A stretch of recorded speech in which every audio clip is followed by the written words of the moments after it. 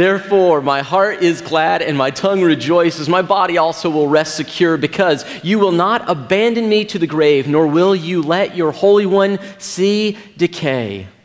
You have made known to me the path of life.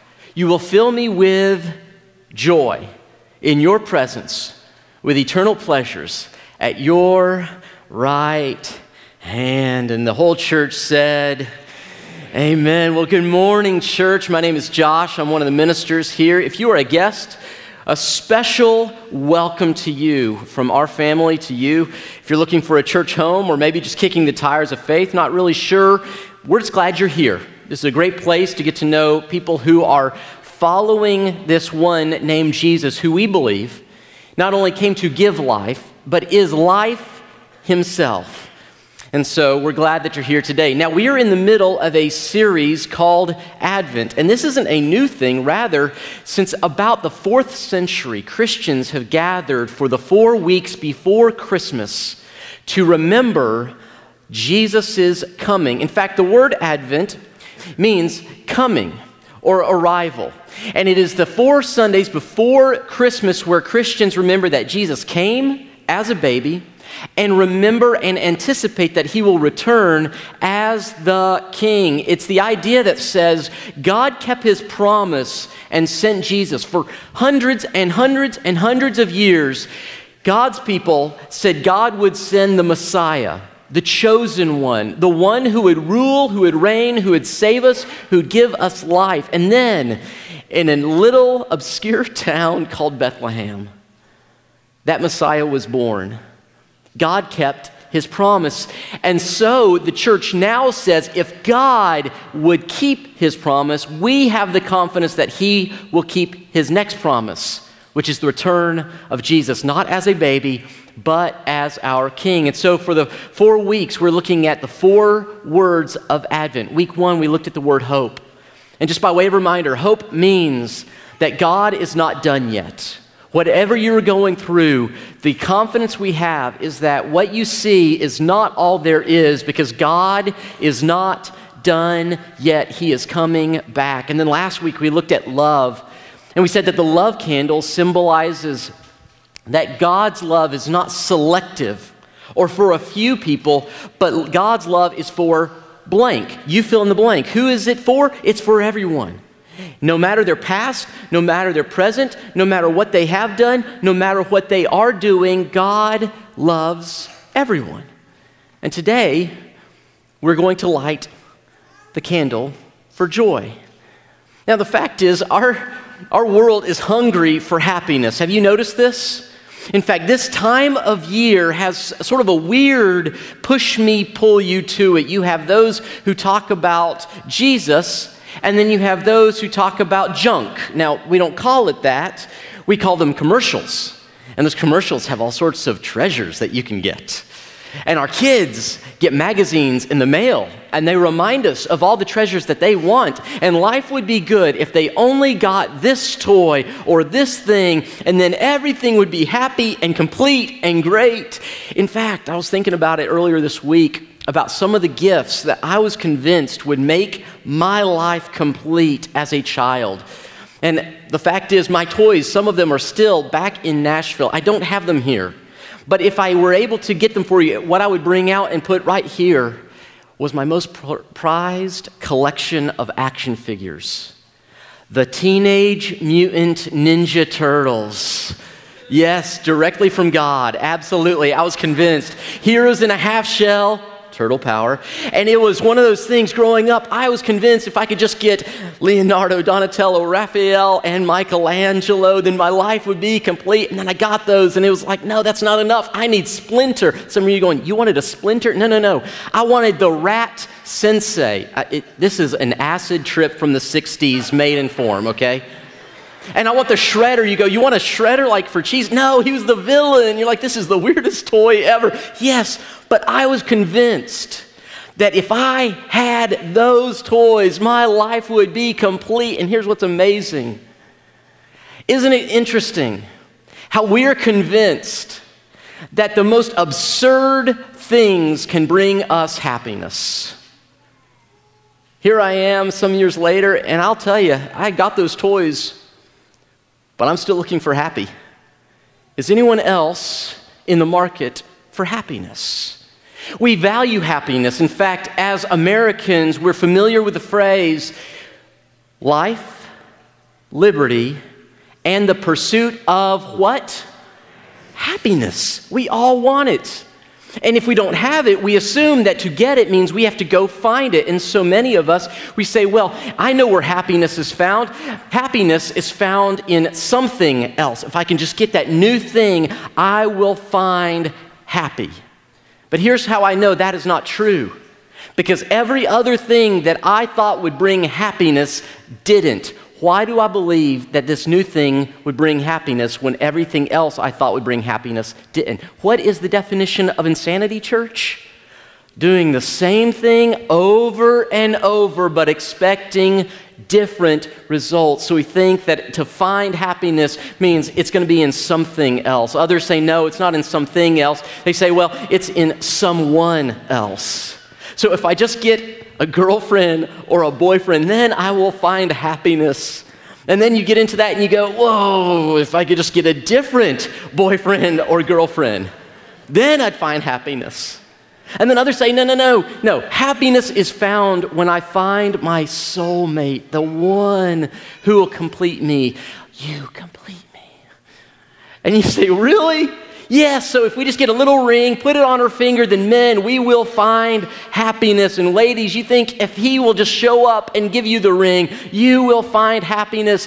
And we say, I am so happy until the day after the honeymoon. And you realize this person may be a gift from God, but they are not God. And then we think, okay, so happiness is not in this person. It'll be when we have children. Then I will be happy if I could just have a child. And then you have that child and you go, well, maybe if I have two children, because one didn't do it, but two will do it. Hmm? And so you think more. And then some of you say, no, no, no, no, no. It's not in someone else. Rather, it's when I get rid of someone else. When college comes for the kids, when they leave the house and we change the locks on the door, then I will be happy but happy doesn't seem to come. And so it's not in something else or someone else. And then some of us say, well, I know I will find happiness somewhere else. If I can just get out of town, if I can just get a little bit of a break, if I can take some time for me, then I will find happiness. I remember when Lindsay and I were newlyweds living in Texas. We didn't have a lot of money, so we'd save up for like a little overnight trip somewhere. And the place that we chose to go was San Antonio, only a couple hours away. And I remember the, the time that we decided to go do this, it was a little hectic season in ministry. I don't know if you've had hectic seasons in life. Probably a lot of us have had those. And we just thought if we can just get out of Dodge, if we can leave for a few days, then, then we will be happy. So we made a big deal of this. We're going to get our, our, our nicest clothes because we're going to go eat out somewhere nice, like not McDonald's nice. It's going to be a place that the person serves you. You don't get a number. It's going to be great. And, and we're going to go stay in a hotel. Now, it, you know, we'll stomp on the cockroaches, but it will be a hotel. And so we get to San Antonio, and I remember as soon as we get out of the car, and we are about to go down this beautiful river walk. And we're thinking, this is going to be the best day. We will be happy here as soon as we walked out. Not 10 minutes later, we're walking along, and my wife, she's beautiful. My wife's just gorgeous, absolutely, from day one. She's a beautiful woman, but she's dressed up and all. We start walking down the river walk, and all of a sudden, we're talking about how great the day is, and all of a sudden, you can almost hear the sound of a bomb dropping. And that bomb landed on my wife's forehead from a bird. All I gotta say is happy went out the window. How many of us know that you can get that something else, you can be with that someone else, you can go that somewhere else, and then life drops a bomb right on your head, doesn't it? Happiness is fleeting. So is, it is so important that this morning we distinguish between this desire for happy, which is a good thing. It's an emotion, a sense that things are okay, but recognize that happiness is not something that we can create. In fact, notice this we cannot create happiness. Every time you have tried to create it, you may be able to work things out for a few moments or a few hours or a few days, but eventually you have no ability to maintain it because we don't control our circumstances. We can't create happiness because we do not control our circumstances, what happens around us. You do not get to control the actions of others. You do not get to control the economy. You do not get to control how people view you entirely. Now, we have influence, but you cannot control it. But happiness is one of those things that comes and it seems to go so quickly. And so, happiness, here's a key idea happiness comes from the outside in, what goes on around us. But Christians have discovered the secret. And this time of year, this is so important that we get this one right, church. Happiness comes from outside in. Well, if this happens, if that happens, if these people are around me, if I get this thing, if I get this stuff, if I'm over here, if I'm over there, then I am happy. But, church, happiness and joy are very different. Happiness comes from the same root word as happenstance, chance, or happening. Here's what's just going on. Happiness starts from the outside in, but there's this thing called joy. It comes from the inside out. Now, all this is obvious and basic. I'm not telling you anything you don't already know, but here's what's at stake the world is desperate for something more than fleeting happiness. And the world is like Cookie Monster, gobbling up the latest cookie, thinking this one will satisfy, this one will satisfy. By the way, how many of you know who Cookie Monster is? Just show of hands. We, we had a real uh, parenting faux pas moment earlier this week. This has nothing to do with the message, but I, will tell on us. We, were, we have these little placemats uh, for the kids when they're doing crafts, and one of them is a Sesame Street placemat, and it has the different characters and shapes and all. And Stephen had it at his spot, and he's like, "Hey, look at that shape! Look at this shape!" And Mom says, "Hey, what shape is Bert holding?" And and Stephen then points to um, two shapes that Big Bird is holding. Now, my, my son is not colorblind, nor is he animal insufficient here. I mean, he knows characters, but she goes, That's not Bert. And he goes, Well, I don't know who Bert is. And Lindsay looks at me and goes, I have failed them because I did not raise them with Sesame Street. So, Cookie Monster, he's the big blue guy. Cookies, if he just gets one more, then he's satisfied, but he's never satisfied. Joy comes from the inside out, not from the inside, outside in. And here's the deal I want you to understand David, the king of Israel, centuries before Jesus, one of Jesus' earthly ancestors, understood the distinction between happiness and joy. He understood that one was a joy or was a, a fun thing to have but fleeting, and the other one was something that could be produced and enjoyed no matter what was going on. You say, How in the world did David, the king of Israel, understand what it was like to not have anything but a charmed life. After all, he's chosen as king. He defeats Goliath and becomes the toast of the Israelite nation. He gets to be the man on the throne. He establishes the city of Jerusalem, the new headquarters of the Israelite people. He is the greatest king of Israel ever. What do you mean he didn't he knew what it was like to not have happiness. Oh, he understood. If you know David's story, you know that David's seven brothers despised him. His daddy Jesse forgot about him, left him in a field. King Saul, the king before David, tried to have David killed. David's first wife was embarrassed by David, and David's son tried to dethrone and have his daddy killed. So you tell me, did David know what it was like to have circumstances that were not good? Absolutely. And yet, the words he shares in Psalm 16, I think, are so applicable because even if you've never had a kid try to kill you, you know what it's like to search for something that you can't find because of circumstances.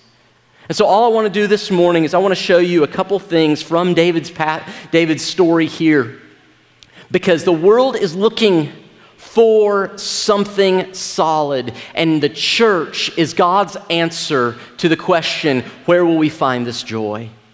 So when you see people who are not joyful, it is not simply they who lose out, it is the world who loses out as well. And so David, he makes this very interesting idea. He points out that joy comes from the inside out. Verse 2 says, I said to the Lord, You are my Lord. Notice this, apart from you, I have no good thing. He starts off the bat saying, It's not what happens around me that gives me joy, it's what's happening in me that produces joy. Jesus, God, you are the one who fills me and gives me good things. By the way, James chapter 1 tells us that every good gift you have ever had comes from God. By the way, just real quick, take a deep breath, would you? Just. You're welcome. That was from God.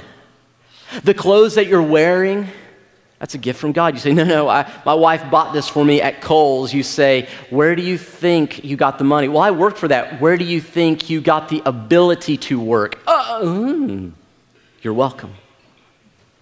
Every good gift you have ever received comes from God. And David starts off by saying, God, it is what's happening in me that produces something outside of me. Apart from you, I have no good thing. But look at what he says now in verse 11. He says, You have made known to me the path of life.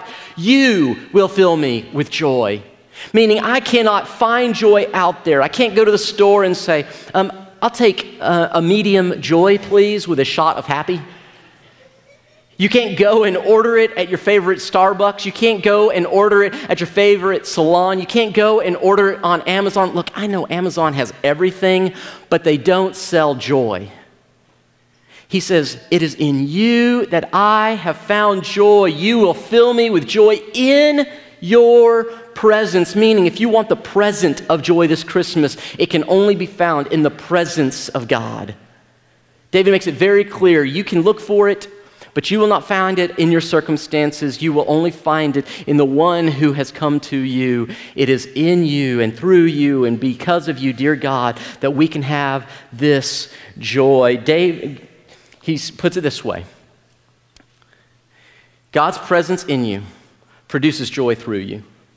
God's presence in you produces joy through you. Now, here's the big question right now, this is where most people might end and we'd say, okay, so go out there, be joyful.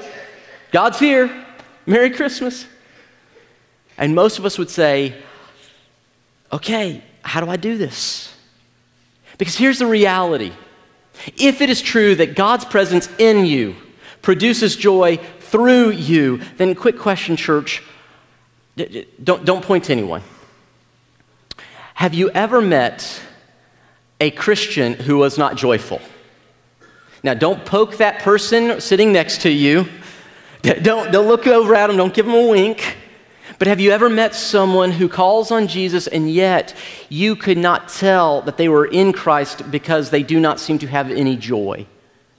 Why is it that you can have two people in the same church? One seems so very full of joy, and the other one feels like their tank is empty. If it's true that God's presence produces this joy, then where is my joy? Maybe you're asking this morning, well, where's my joy? David again gives us the secret to joy production. And it is one of the most beautiful things, if we will but pause and consider this. He gives this great idea of where joy comes from because you see, joy is not something you produce, it's simply something that can be developed. It is not something that you produce in you, it's something that is developed. Joy is developed, here we go, when we practice praise. Joy is developed when we practice praise. Notice what he says in this next verse. He says, I will praise the Lord. The entire ver- chapter here, if you were to go through, the whole piece is a praise to God. It is a celebration of who He is and what He is doing in our lives. What, what David is experiencing, he says, I will praise the Lord. And I didn't highlight this, and I should have. Because maybe the most important two words of this entire section are these first two words. Just real quickly with me, with one voice, very loud, will you say these two words out loud? You ready? I, let's say it again. I will. Meaning it is a choice. Praise does not happen simply when we feel like it, it is a choice. Did you know that praising God is a choice? He does not say, I'll praise you when I feel like it. I'll praise you when circumstances are going my way. I'll praise you when I get that great dinner that I know my wife can make, but she just isn't making it. I'll praise you when my kids behave. I'll praise you when my boss recognizes my achievements and my value. I'll praise you when, no, he just says, I will praise you. He is making a choice to say, no matter what happens, I will praise you. Did you know that praise is what cultivates joy in your heart more than anything else? When you say, God, no matter my circumstances, I choose to say you are good. I choose to say you are worthy. I choose to say you are holy. I choose to say I love you. That is what ends up producing joy more than anything else. In fact, just look at all the words he uses here. He says, I will praise the Lord. Notice this next line who counsels me. You say, What's the big deal of this? Listen, there are days when I need to have someone explain to me that all I see is not all that there really is. There are moments where circumstances are so bleak, so dire, that I need someone to say, You don't see the whole picture and you can't, but remember hope, God's not done yet. It is when we praise Him and say, God, I do not know what's going on, I cannot see everything that's happening, but I choose to praise you that you are in control. In your hands are all of life's situations. It's when we do this. So he says, God, I'm, I'm going to remind myself that you counsel me. In fact, look at this. Even at night, my heart instructs me. Night, when David is talking about this, he's not just talking about the end of the day. But how many of us know that we have gone through seasons of night? Seasons where things are just not going well. In fact, right now, it's interesting that Advent, the coming of Jesus, the light of the world, just so happens to take place during some of the shortest days of the year. Night is longer. I was talking to a friend not too long ago. And this friend was sharing some situation with their own health and the health of their mother and the health of a friend and a job situation. And this friend simply said, Josh, I feel like it's dark everywhere. I just feel like I'm in the dark. And I know if we paused, if, if, if you and I could sit down for a cup of coffee or, and just talk, so many of you would say the same thing. You'd say, the depression is just debilitating. You'd say, my kids, I pray for them, but they do not choose Jesus, and I can't, I can't seem to get them to come back. Some of you would say, I'm hanging on to my marriage, but I'm not sure what tomorrow is going to bring. For some of you, you'd say, I just, I just feel lonely. I just wish I had somebody. And for so many of us, we would say, It feels like night. My circumstances are dark. I have no happiness. And yet, David says, even at night, even as I'm hiding in the caves from King Saul who wants to kill me, even as I'm fleeing from my own palace because my son wants to depose me, even when I'm left out into the field because my daddy thinks I'm so insignificant, he doesn't bring me before the prophet Samuel to possibly be the next king. Even though my circumstances are dark and it is bleak, my heart instructs me. Now, in the ancient world, the heart was not the seat of the emotions, rather, the heart represented the core of who you are. It was his way of saying, In my deepest places, I will choose to speak to myself instead of letting my circumstances speak to me. I choose to praise you. In the moments where it's dark, I choose to say in that moment, You are still good. You are still God. You are still on the throne. Praise is a choice, and it's what develops joy. He says, I will praise the Lord who counsels me even at night. My heart instructs me. Notice this I have set the Lord always before me. I was thinking about the things that we put in front of us are usually the things we value the most. So, my wife and I share a room because she is the most precious relationship on earth that I have. We have pictures all over our house of our children because they are precious to us. In other words, what we value, we put in front of us. And I love how David is like saying, God, I have put your picture in front of my face so that wherever I go, although the circumstances may be dark, even though things may not be good, even though it feels like the world is dropping all sorts of stuff on me, I have you before me. I will choose to look at you. I will choose to consider you. I will choose to recognize you. I have set the Lord always before me because, notice this, He is at my right hand. It's not just I think He is near, but rather He is. Friend, listen to me. David is saying that your God is as close as your next breath, that He is not distant or far away and just because it feels like night, He is the light who walks with you. He is at my right hand, and as a result, I will not be shaken. This idea, joy, is developed by practicing praise. You say, well, what is praise? Praise is simply this praise is practicing the presence of God. Praise is simply saying, I know He is here even when I feel like He's far. I know that He loves me even when I see so much pain. I know that God is still at work even when the world seems to be spiraling out of control. Praise says you are good even though the world isn't always. Praise is practicing the presence of God, it's remembering that He is near. I was thinking about it that isn't it interesting that one of the names for Jesus is Emmanuel, which simply means God with us that the presence of God is here. Did you understand that right now God is here in this room? Maybe I need to say that again for some of you who didn't hear it.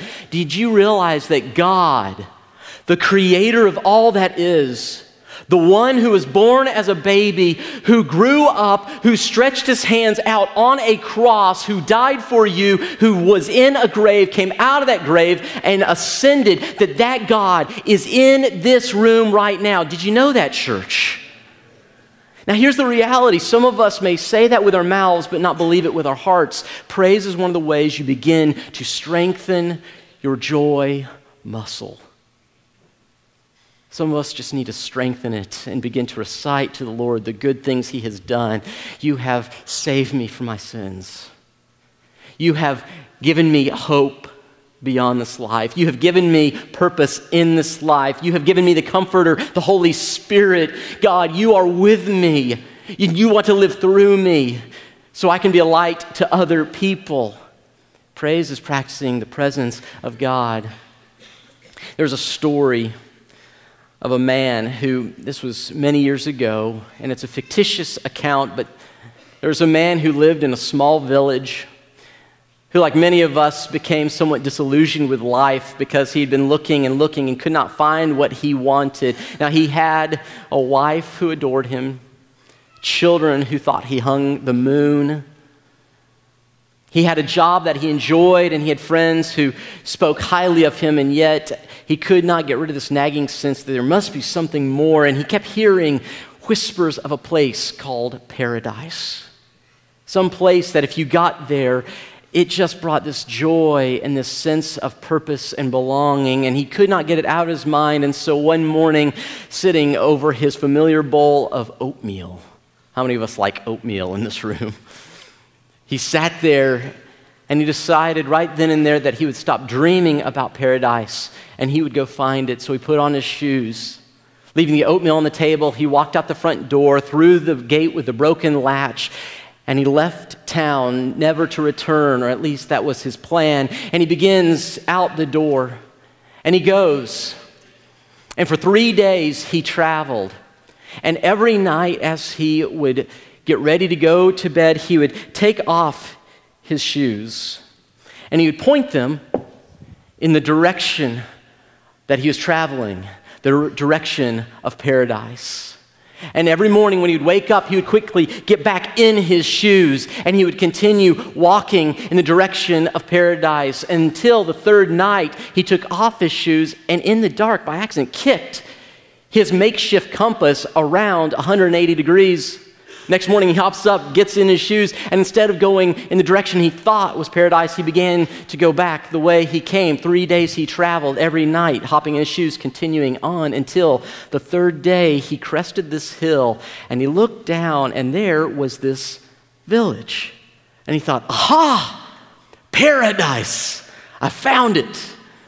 But as he looked, he said, it looks kind of familiar. Evidently, the man was not very smart. And he said, It looks so familiar, but after all, people say there's a place called paradise. I've been traveling for it, must be it. He comes down the hill, he enters into the town of paradise where all the friends greet him by name. He thought, How strange. And then he thought, Well, of course they would say my name. After all, this is paradise. He continued through the town to the end of the street where he came upon this gate with a broken latch.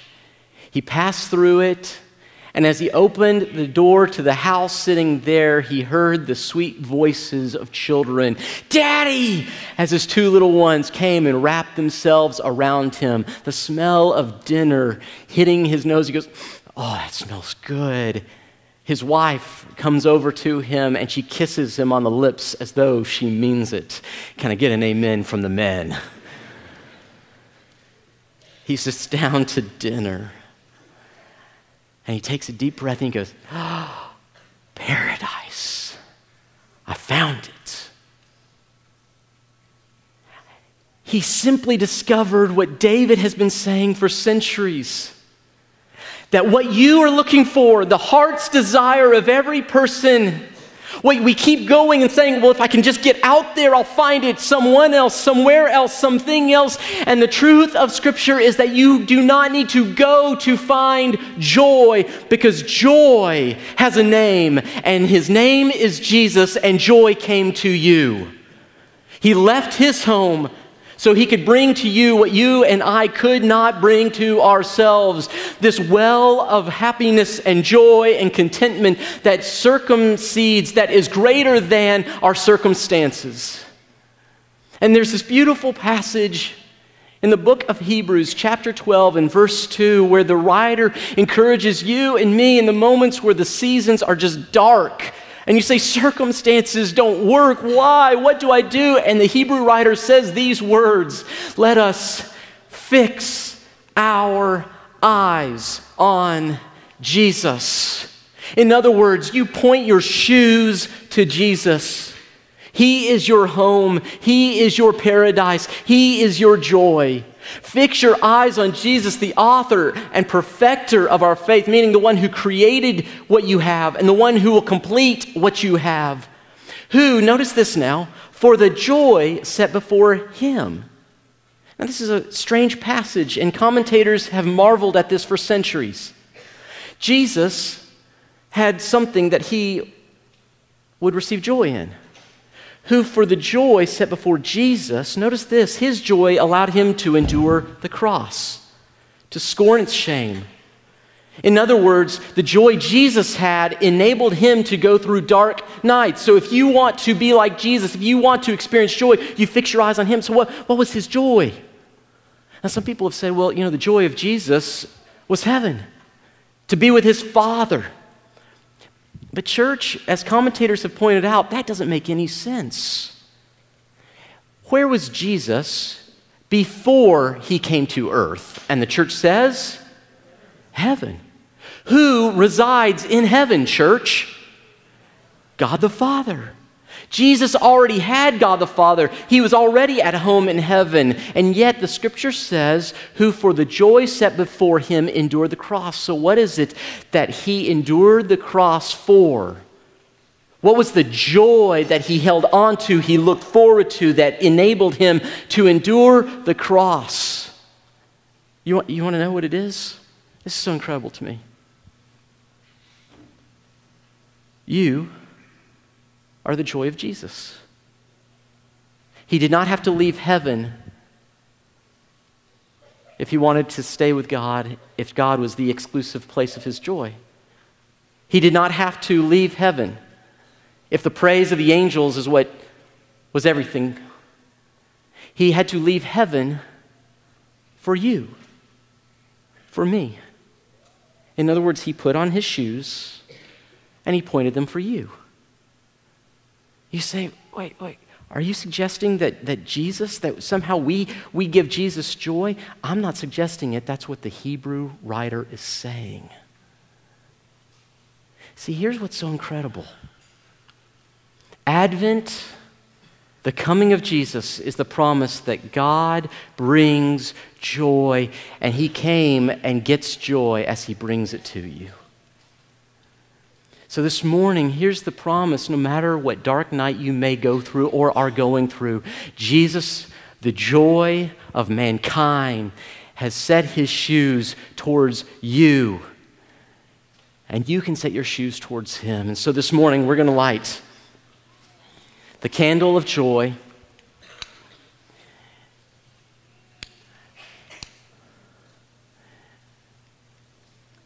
And the candle simply means joy has come to us.